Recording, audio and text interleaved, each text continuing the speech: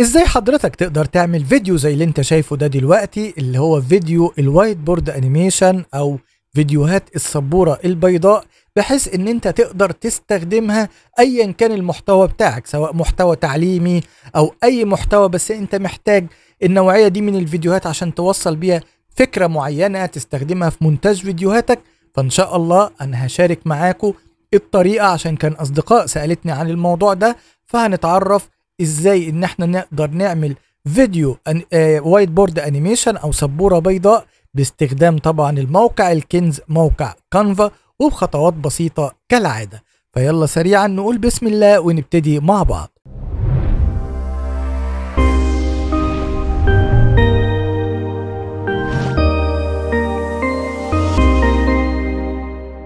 السلام عليكم ورحمة الله. ازيكم؟ عاملين إيه؟ يا رب يكون الكل بخير إن شاء الله. يلا سريعا نبتدي عشان ما نضيعش وقت.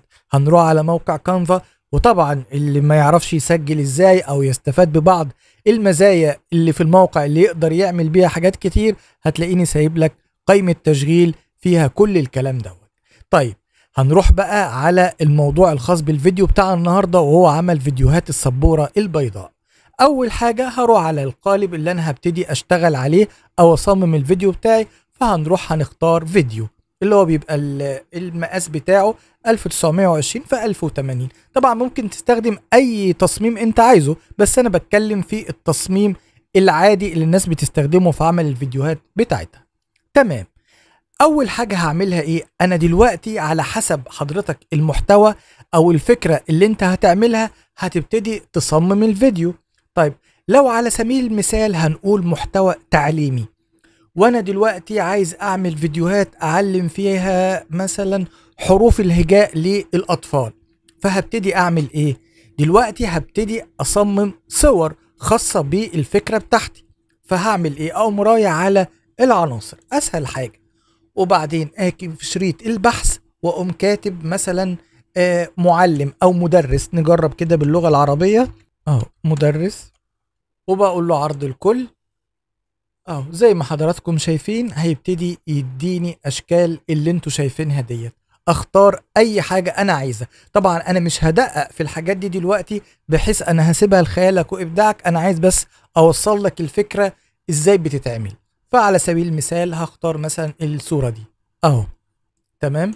وأبتدي أظبطها أو أشوف أنا عايز أبقى حاططها إزاي. وليكن مثلا هحطها كده. أهو. وبعدين أروح على النص كاول حاجة هتظهر في الفيديو آه الدرس الأول تعليم حروف الهجاء. فأقوم كده ضاغط على كلمة النص وبعدين أضيف العبارة اللي أنا عايز أكتبها. هكتب كده الدرس الأول أهو وبعدين أقول تعليم حروف الهجاء. وبعدين برضو أبتدي أظبط مكانها أو الحجم اللي أنا عايزه. تمام؟ أدي مثلا بالنسبة لي كده أول صورة أنا عايزها تظهر في الفيديو بتاعي لما يبتدي يشتغل.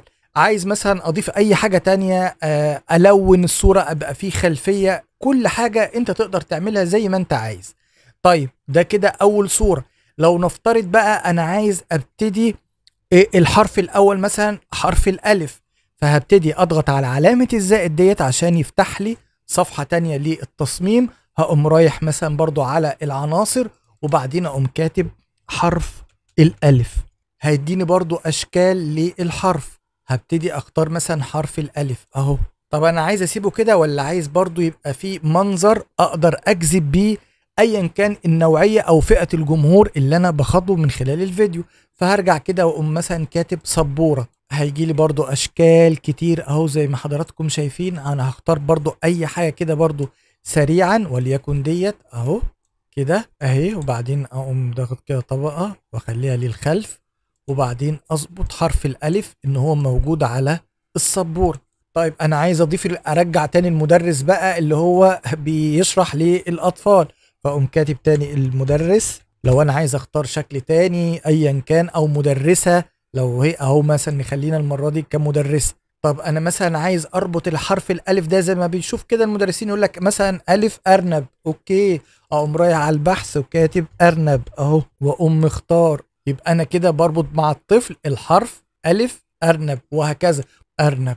وابتدي بقى أظبط أي حاجة أنا عايزها عايز أضيف زي ما اتفقنا خلفية ألونها يعني أضغط كده وأخلي مثلا الخلفية معمولة كده أو أي لون تاني زي ما حضراتكم عايزين. فأنا هرجع مثلا لا أنا عايزها بيضة خلاص تمام أهو. تمام. أنا عايز مثلا الألف والأرنب في سهم بيشاور عليه أو مرايع على العناصر وكاتب سهم واختار أي شكل دلوقتي إحنا اتفقنا بس أنا عايز أوصل لك الفكرة. أغير اتجاهه بحيث آدي الألف بيشاور معانا على الأرنب. أهو. كل الحاجات دي بقى حضرتك تبدع فيها زي ما أنت عايز. طيب تمام. نفترض بقى فكرة الفيديو بتاعي أنا كنت ناوي أشرح فيه خمس حروف بس. فهبتدي أصمم باقي الحروف بنفس الطريقة. طب عشان ما لو هنفترض إن أنا عايز أثبت صورة المدرس أو المدرسة اللي موجودة معانا والسبورة والكلام ده كله فهاجي أضغط على التصميم بتاعي الأولاني وأقول له تكرار صفحة. وأشوف العناصر اللي أنا عايز أحذفها منه يعني أنا مثلا مش عايز حرف الألف هبتدي كده أقوم حذفه. خلاص طبعا بالتبعية هحذف الصورة التوضيحية ايا كانت إيه هي سواء حيوان جماد ايا كان هحذفها أهو. وابتدي أشوف الحرف اللي بعد كده والصورة التوضيحية اللي أنا عايز أعملها. أنا بقول لكم طبعا كمثال أنت كمدرس أو حابب تعمل محتوى تعليمي هتبقى عندك أفكار طبعا أحسن مني. أنا بوضح لك الفكرة. تمام كده؟ طيب أنا مش محتاج الصفحة دي دلوقتي فهحذفها. فهنفترض بقى يبقى أنا كده معايا آدي أول صورة اللي أنا كعنوان للفيديو اللي هو تعليم حروف الهجاء. بعد كده آدي التصميم التاني الخاص بحرف الألف. هعمل إيه بقى دلوقتي؟ هبتدي أروح على مشاركة وبعدين هروح على تنزيل وبعد كده بقى ناخد بالنا أنا مش هحفظهم بصيغة فيديو نوع الملف لأ أنا هحفظهم الأول كصور. فهضغط هنا كده وأقول له بي إن جي أهو. بيقول لي جميع الصفحات. عايز تحفظ جميع الصفحات اللي أنت صممتها؟ هقول له آه وأقوم ضاغط على كلمة تنزيل. كده هيبتدي يحفظهم معايا على الجهاز بتاعي سواء بستخدم الكمبيوتر أو بستخدم الهاتف. تمام خلاص هو كده حفظ الصور بتاعتي. تمام يبقى دي كده أول خطوة معانا. الخطوة الثانية بقى هنحول الصور دي لفيديوهات سبورة بيضاء تمام إزاي؟ على نفس الصفحة بتاعتنا مش هنقفلها ولا أي حاجة. أو عشان ما تلخبطش نفسك اضغط على علامة الزائد فتحت معاك صفحة للتصميم. وارجع على الصور دي كده احذفها. أهو. أهو أنا مش عايزها خلاص ما هي طبيعي محفوظة على الجهاز بتاعي. طيب جميل هعمل إيه بقى؟ هروح على كلمة التطبيقات وأضغط عليها وبعدين آجي في البحث وأبتدي أكتب التطبيق اللي أنا هحول بيه الصور دي لفيديو whiteboard أو سبورة بيضة. فهكتب كده Speed باللغة الإنجليزية. Painter أهو. هلاقي النافذة دي ظهرت معايا وناخد بالنا من حاجة مهمة. بلاقي عندي في Speed Paint وعندي في Speed Painter طيب Speed Paint على فكرة هتقضي معاك نفس الغرض اللي انت تحول بيه الصورة بتاعتك لفيديو سبورة بيضاء. بس المشكلة ان الأداة أو التطبيق ده حاليا المربوط ب Canva مش مجاني. دلوقتي أصبح إن انت لازم تشترك. طيب إيه اللي بيقضي معانا نفس الغرض وبشكل مجاني اللي هي Speed Painter فهنضغط عليها هتتفتح معانا بالشكل ده وبيقول لك ارفع الصورة أو اختار الصورة اللي انت عايزها. فهضغط كده على choose file وبعدين أبتدي أختار معايا أول صورة أهي وأقول له اوبن بعد كده بلاقي في اختيارات ظهرت معايا متعلقة بقى بالصورة دي. بيقول لي مثلا أول أول اختيار معانا. أنت عايز الرسمة دي تاخد تترسم في قد إيه؟ فهضغط على السهم ده. بلاقي معايا ثانية 3 5 10 فأنا هختار 10 ثواني. بعد كده لو الصورة فيها ألوان برضو عايزها في قد إيه فأقول له في 10 ثواني. آخر حاجة اللي هي add sketching hand effect لو أنا قفلتها كده مش هتظهر معايا الإيد اللي أنتوا شفتوها اللي هي بترسم الفيديو فأنا هفعلها عشان تبقى ظاهرة معايا. وبعد كده أقول له generate هيبتدي يعالج الصورة ديت عشان يحولها لي لفيديو سبورة بيضة اللي أنتوا شفتوه في المقدمة. والموضوع ما بياخدش معانا أكتر من مش هنكمل حتى نص دقيقة. خلاص تمت المعالجة وحول لنا الصورة بتاعتنا لفيديو. فبيقول لك add to design هنضغط كده أهو هيبتدي يضيف الفيديو للتصميم بتاعنا. أهو زي ما حضراتكم شايفين. طيب هو كده حاططهولي في نص التصميم فأنا ممكن أضغط كده click يمين أقول له تعيين الفيديو كخلفية ونشغله بقى مع بعض ونشوف هيبقى المنظر عامل إزاي.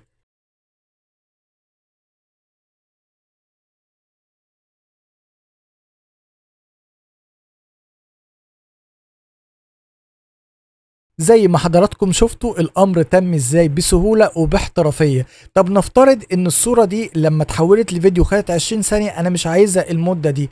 خلاص تمام. أنت بقى حضرتك مع الخبرة ومع المحتوى بتاعك هتبتدي تحدد مثلا كانت اللقطة دي أنا مش عايزها 20 ثانية فقبل ما أعمل المعالجة أختار أخليها 3 ثواني 5 ثواني زي ما أنا عايز. طب هنيجي للصورة الثانية هعمل إيه؟ أقوم ضاغط على علامة الزائد وبعدين أقول له go back وأمسح بقى الصورة دي وأقوم مختار الصورة الثانية اللي هي بقى بداية الحروف اللي أنا هبتدي أشرحها. ممكن نخليها 3 ثواني عشان تتعالج معانا بسرعة لأن أنا لما بختار 10 ثواني و10 ثواني مثلا فبتبقى مدة الفيديو 20 ثانية. هنا 3 و3 فهتبقى 6 ثواني. وأقول له generate تمام؟ خلصت المعالجة معانا. برضو هنضيف بقى الفيديو للتصميم بتاعنا أهو. وبرضه هنخليه كخلفية عشان يبقى معانا كمساحة الفيديو ونشغله كده مع بعض. شوفوا بقى عشان هنا إحنا اخترنا آه 3 ثواني. خلص معانا بسرعة. إزاي؟